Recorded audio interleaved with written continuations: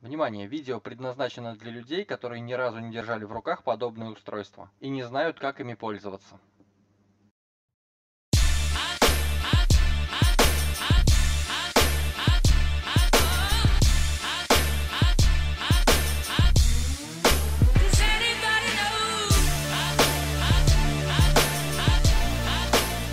Ну что, народ, всем привет! Давайте с вами сегодня попробуем настроить роутер TP-Link WR840N. И, как вы помните, заходим в свойства сетевого подключения. Нажимаем «Состояние», «Сведения». Вот, кстати, наш IP-адрес нашего роутера.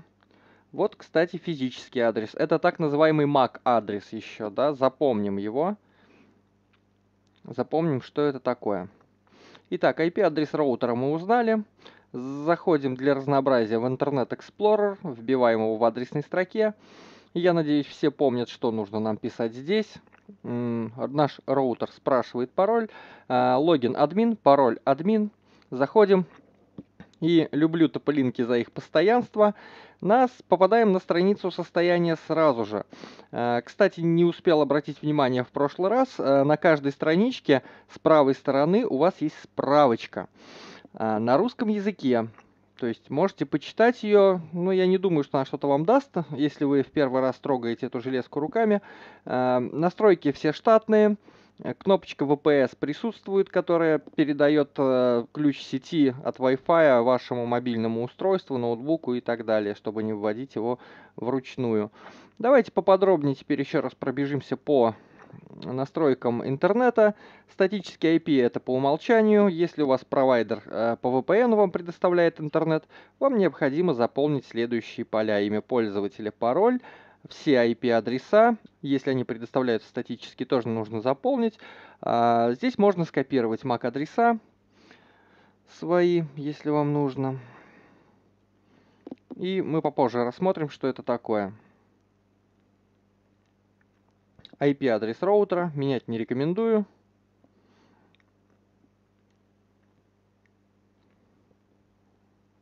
Беспроводной режим. Здесь как бы все просто. А, Тут имя вашей сети, то есть как ваши мобильные устройства, ноутбуки и другие устройства будут видеть вашу Wi-Fi сеть. Режим лучше не меняем. Ширину канала лучше не меняем. Сам канал выбираем авто. В VDS мы касались вот этих всех настроек, если вы помните, если вы смотрели, в настройках модели TP-Link 740N. Они здесь все одинаковые. По большому счету, видео можете посмотреть. Если хотите знать, как это устройство выглядит снаружи поподробнее, можете посмотреть второе видео, мы там его подробненько рассматривали. Таким вот образом здесь нехитрым поднимаются VDS мосты. Здесь мы настраиваем защиту. Можно ее, в принципе, отключить, если вы добрый сосед и вам не жалко своего интернета, пожалуйста. А, Здесь настраивается ключ безопасности. Можете указать практически любой. А, Тип шифрования лучше не меняйте, если вы не знаете, что вы делаете. А вот фильтрация MAC-адресов. В тот раз мы не очень э, сильно на ней задержались. Давайте я вам вкратце расскажу, что это такое. Каждое сетевое устройство, каждая сетевая карточка имеет свой физический адрес. В принципе, он должен быть уникальным. Э, Соответственно, он не повторяется. Что вы можете сделать? Э, Например, создать правило. Э, Назвать его как угодно. Написать MAC-адрес желательный или наоборот нежелательный. И даже если у вас Wi-Fi сеть открыта, то есть не запаролена, не включена у вас безопасность, э, компьютер с данным MAC-адресом никогда на роутер не попадет, соответственно, не подключится и не сможет пользоваться интернетом. А, Есть другой вариант развития событий. Вы можете поставить а, «Разрешить» и указать только список ваших устройств. Ноутбука, телефона и так далее. И получите ситуацию ровно наоборот. А, Только ваши устройства могут пользоваться роутером, все остальные будут игнорироваться. DHCP – та служба, которая выдает IP-адреса каждому из устройств. По умолчанию задан пул на 100 IP-адресов, то есть он будет выдавать с 100 по 199. То есть 100 устройств по умолчанию могут к вашему роутеру подключаться. А, Мы обязательно остановимся на этом поподробнее как-то. Ну, пока что вам нужно знать, что каждое устройство в сети имеет IP-адрес. Список клиентов DHCP. Вот как раз мы видим мой компьютер, мы видим мой MAC-адрес, то есть сразу видим, кто сидит на данном роутере. И э, более того, можем скопировать этот MAC-адрес. Э, посмотрите, обратите внимание на IP-адрес. Там у меня получен как раз 101, да, и как раз из этого пула. Мы можем скопировать этот MAC-адрес, если это нежелательный нам компьютер. Зайти в беспроводной режим. Зайти в фильтрацию MAC-адресов и запретить роутеру обрабатывать запросы от этого MAC-адреса. Соответственно, тем самым заблокируем полностью сетевое устройство. И даже, повторюсь, если сеть открытая, шифрование и защита у нее отключена, все равно не пролезет. То есть работать не будет, к сети, скорее всего, устройство не, даже не подключится. Это еще один из способов защиты э, роутера. Поехали дальше. Резервирование адресов. Что это значит? Роутер при каждом подключении выдает каждому устройству IP-адрес. Моему устройству выдан 101 на данный момент. 192.168.0.101. Разумеется, адрес будет каждый раз разный. А, здесь мы можем задать правило, которое запомнит MAC-адрес сетевой карты и будет устройство выдавать каждый раз один и тот же IP-адрес. Для чего это надо, мы попозже с вами обязательно разберем. А, настроек всякой маршрутизации и переадресации портов я пока что касаться не буду, потому что для базовой настройки роутера это абсолютно не важно. Безопасность. Я думаю, тоже вскользь пробежим. Все галочки выставлены абсолютно правильно, не нужно их менять. А, в этом меню вы вписываете MAC-адреса только тех компьютеров, с которых можно осуществлять настройку данного роутера. Разумеется, с других компьютеров настроить его будет невозможно. Особенно это актуально для тех, кто оставляет сеть открытой и не ставит на нее пароль. Удаленное управление. Достаточно важный пункт для тех, кто в момент отсутствия своего дома хочет знать, что происходит на его роутере, кто где сидит и сидит ли вообще. По умолчанию эта функция, конечно же, отключена.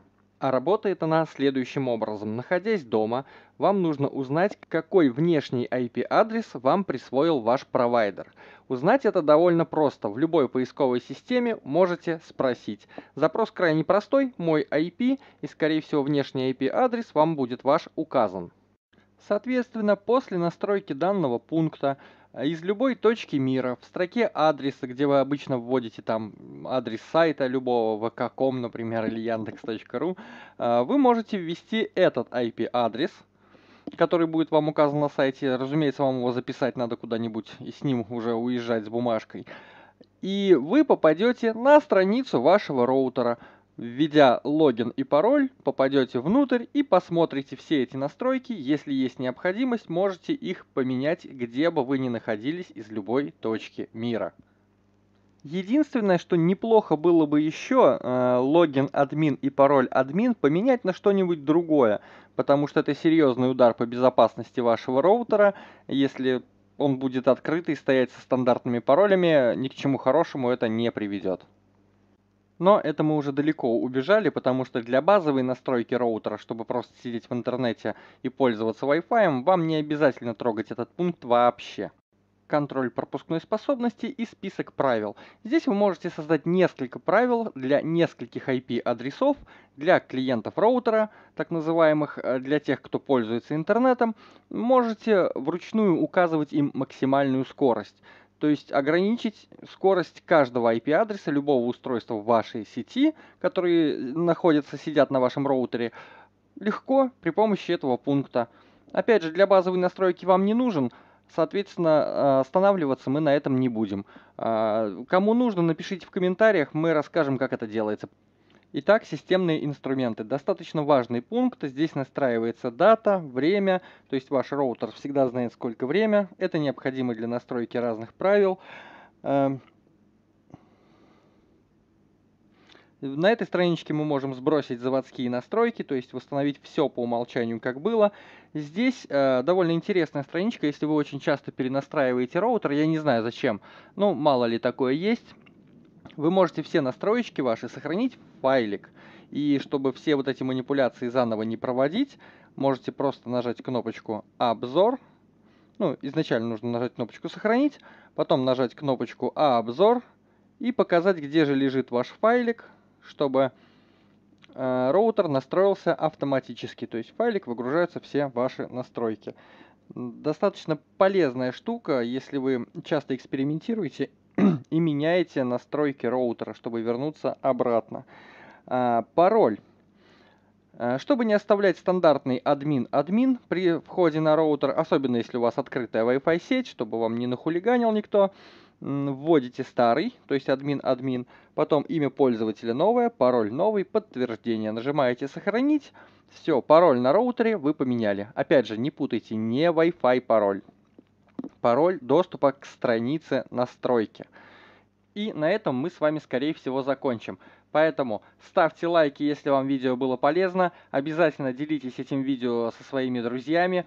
Подписывайтесь на наш классный канал. У нас впереди еще очень много всего интересного. Также не забывайте про наши другие видео, например, про обзор недорогой, но очень классной экшен камеры или быстрый обзор 7 роутеров за 10 минут. Всем желаю больших скоростей и маленьких пингов. До встречи!